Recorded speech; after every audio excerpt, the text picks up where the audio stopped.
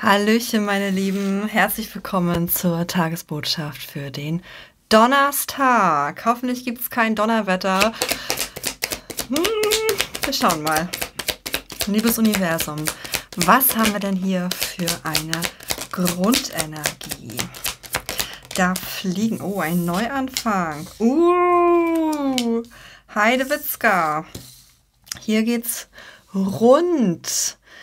Wir haben das Herz, die Lilien und das Kind. Hm. Entweder wird jetzt hier Tschengele Mengele gemacht und äh, der ein oder andere erfährt, hu, da ist was äh, in the making. Oder es geht einfach jetzt mit Feuer und Flamme und Harmonie in einen kraftvollen Neuanfang. Ja, passend zum Neumond, der am Mittwoch ja, stattgefunden hat. Neumond im Stier, eine sehr schöne Energie gewesen. Ich habe dazu auch ein Neumond-Orakel gemacht und wir gucken mal. Wir haben den Eremit. Selbstfindung, Klarheit und Wahrheit liegt hier in dir. Sehr gut. Was kriegen wir denn noch? Du bist die Schwertkönigin, unabhängig, klug, frei, selbstbewusst, sehr aktiv sprichst natürlich auch ähm, mal die harten Worte, aber auch die notwendigen Worte aus, wenn dich jemand um Rat bittet. Das Wichtigste ist aber auch, hör auch auf deine eigenen Ratschläge, ja. Nicht nur verteilen, auch selber drauf hören. Oh, oh. Wir haben sogar noch Mr. Feuer hier mit an Bord. Stabkönig, das Feuer des Feuers.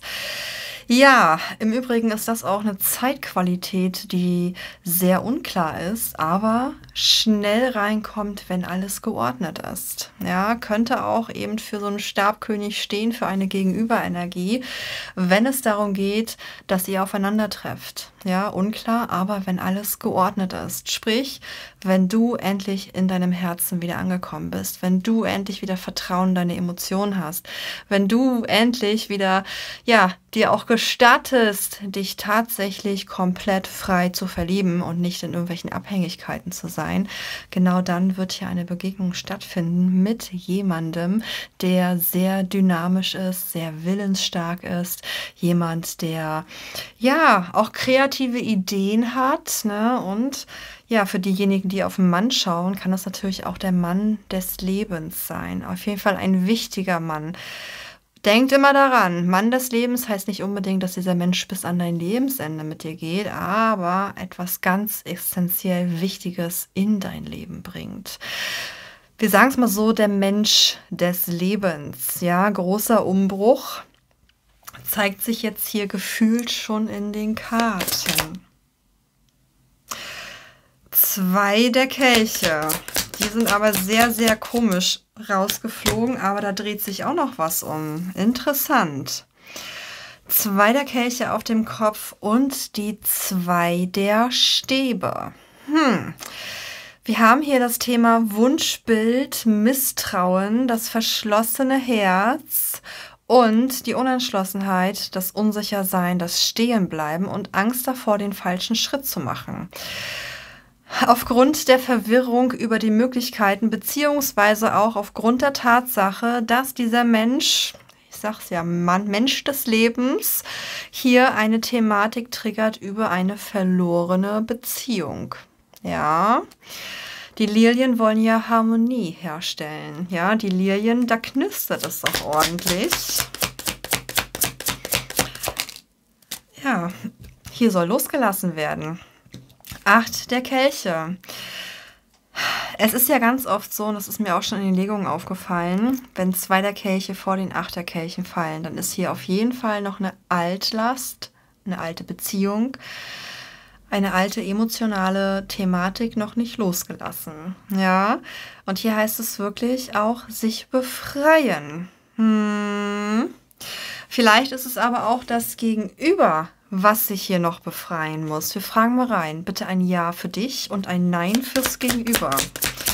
Wer muss denn hier loslassen? Ritter der Stäbe ist ein Ja. Also ein Ja für dich. Du, liebe Seele, darfst jetzt in die Zukunft schauen. Ja. Ich sag ja, hier geht es auch ein bisschen mit noch weiterhin um Selbstfindung. Ja, du bist definitiv ready to go. Aber im Moment der Begegnung denkst du dir nur, oh, what the fuck, was geht hier ab? Ja, was soll das jetzt? Warum macht es Boom? Und ähm, das Ding ist ja auch, mit Herzvisionen geht ja auch irgendwo ein Wunschbild einher. Und vielleicht ist das Gegenüber gar kein Wunschbild von dir.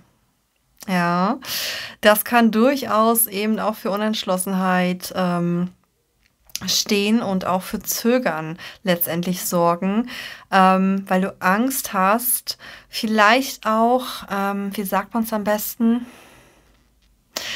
ja, wieder beherrscht zu werden, dominiert zu werden. Vielleicht ist Dominanz ein Thema bei dir. Ja, irgendwie sowas in der Richtung. Wir schauen mal weiter. Das Kind folgt dem Tod. Nein, Spaß.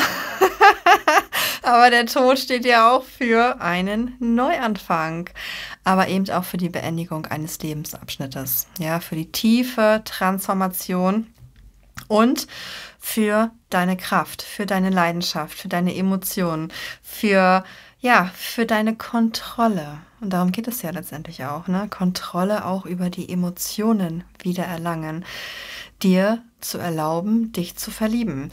Das heißt, dieser Mensch kommt rein, um dich tatsächlich zu testen. Lässt du dich jetzt fallen? Ja, genau. Ich wollte eigentlich was ganz anderes sagen. Lässt du dich jetzt fallen? Erlaubst du dir wirklich, dich komplett frei zu machen und zu verlieben? Das ist hier die große Frage der Fragen. Hm lässt du dich jetzt fallen? Wir haben das Ast der Stäbe. Das heißt, dieser Neuanfang erfordert natürlich auch deine Initiative. Ja, hier ist die Gelegenheit, die Geburt, der Neubeginn. Ja, also hier ist drei Karten auf Neubeginn gepolt. Und das heißt natürlich auch, dass du jetzt mit der Erkenntnis dessen, dass du dich fallen lässt, ja, komplett frei machst von irgendwelchen Vorurteilen, Wunschbildern, Zweifeln, whatever und wirklich mutige Schritte nach vorne gehst. Du hast die Wahl. Zwei der Münzen. Zwei, zwei, zwei. Du bist alleine für deinen Wandel verantwortlich. Du bist dafür verantwortlich, welchen Dingen du in deinem Leben Aufmerksamkeit schenkst. Du bist dafür verantwortlich, wie dein Ausgleich ist. Sprich, was setzt du rein? Und vor allen Dingen, du bist auch dafür verantwortlich, Verantwortung zu übernehmen und nicht mit deinem Leben zu jonglieren. Darauf zu warten, dass irgendwas kommt. Kartenleger zu fragen, wie geht's weiter? Ja, sondern einfach mal machen zu lassen. Ja, kostet mich das Kunden? Natürlich. Ist mir das egal? Ja. Ganz viele Fragen des Lebens könnt ihr euch selber beantworten. Und ganz viele Fragen des Lebens werden in der Regel beantwortet, wenn ihr mutig seid. Ja, weil denkt immer dran, auch eine Kartenlegung ist kein goldener Weg.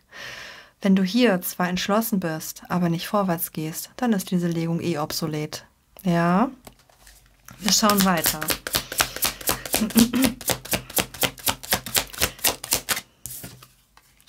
Der Turm. Druckentlastung.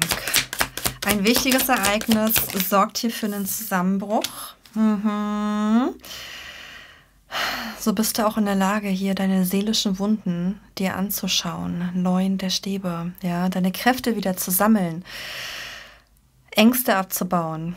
Ja, die letzte Verteidigung, aber auch den letzten Schubser, den du vielleicht noch benötigst, um dich in das neue Abenteuer zu stürzen, um einfach auch die Verletzungen der Vergangenheit endgültig ad acta zu legen und die Schutzhaltung runterzunehmen. Ja, damit du deine Motivation wiederfinden kannst, dich besinnen kannst und dir eben auch die vielen Möglichkeiten, die du hast, eingestehen kannst. Ja, du bist verwirrt über die Möglichkeiten. Aber genau diese Möglichkeiten passieren in dem Moment, wo du dir Klarheit und Wahrheit verschaffst, in dem Moment, wo du dir wirklich auch wieder erlaubst, in deine Emotionen einzutauchen.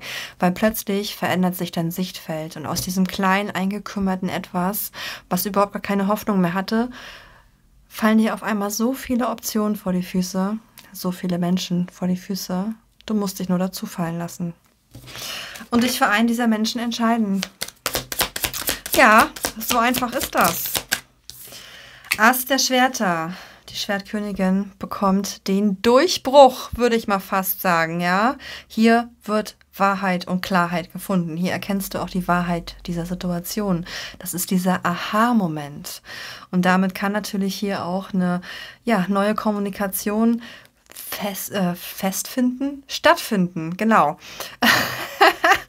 Und du kannst hier mit einer frischen Herangehensweise an die Angelegenheit rangehen. Ja, dein Bewusstsein wird gesteigert. Ich habe hier gerade schon das Ass der Kelche auf der Unterseite gesehen. Mal gucken, was wir hier noch bekommen. Ich hätte gern noch drei Karten. Ja, der Hierophant. Wir haben hier so viele große Arkanen liegen. Transformationsenergie Deluxe. Der Hierophant will meistern. Der Hierophant appelliert auch an dein Vertrauen. Ja, Vertrauen in dich selbst, Vertrauen in deine Angelegenheiten, Vertrauen auch natürlich vielleicht in die Liebe. Hier kommt Beschleunigung rein mit den acht der Stäben. Und was kriegen wir hier zum Schluss? Das Umdenken. Ich würde auch fast sagen, ein bisschen mentale Kapitulation. Ja. fünf der Schwerter, ähm, ja, ist einfach die Möglichkeit, hier die Wende einzuleiten, ne? aus der Vergangenheit zu lernen und dir vielleicht auch ein bisschen das Thema Ego anzuschauen, ne? sodass du eben nicht mehr ähm, rückfällig wirst in deine alten, ängstlichen Seiten, die dich davon abhalten, etwas unglaublich Schönes zu erleben. Ganz egal, wie lange ihr zusammengeht. Das ist völlig irrelevant. Lebt den Moment und nicht die Sorge.